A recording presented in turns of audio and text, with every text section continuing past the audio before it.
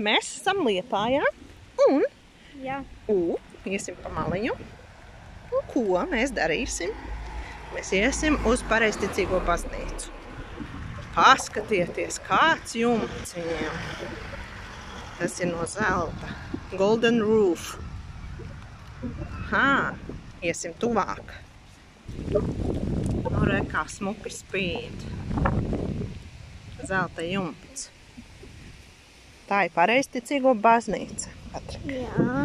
No tāluma ļoti smuki izskatījās. Braucām skatīties.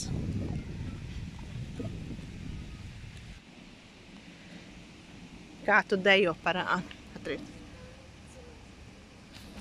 Aha.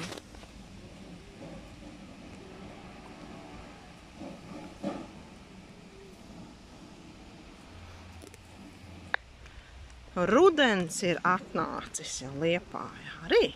Ja? Jau lapas dzeltenas. O, kāda ķēde liela. Milzīga. Wow! Un izskatās jau, ka rudens ir klāt. Mamma arī iet, ja? Jā. Mamma tā kā vasarā apģērbusies, izrādās rudens sācies jau, ja?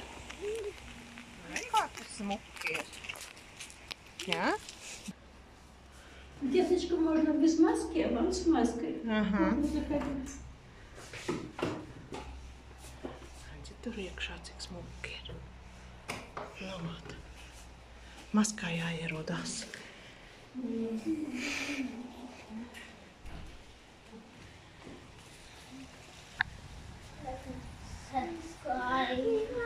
Like and subscribe. It's great to do. Jā. Tur iet nolikt svecītes un aizlūdz. Mēs neiesim iekšā, mēs neesam pareizticīgie. Wait for the graph. Nu, apgājām apkārt. Un tā ļoti skaisti var redzēt visu, jā.